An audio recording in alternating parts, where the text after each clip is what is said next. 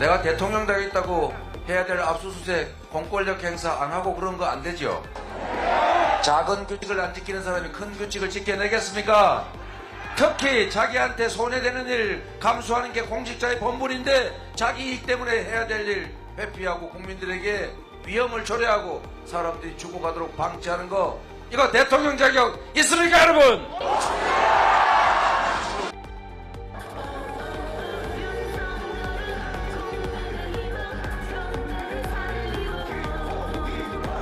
자, 능력이 없고 무능한 거는 그렇다 치고 깨끗했냐? 저기 보십시오. 대장동.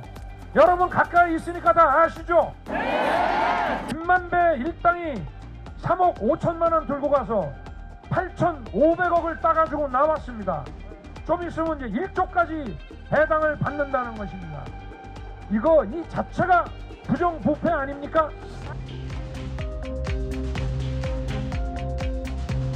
최근 또 다른 주가 조작 사건에도 관여한 정황이 드러났습니다. 장모 최 씨 또한 수백억의 부동산 투기, 불법 대출, 어, 개발 비리를 저지르고 어, 아무 일 없이 있습니다.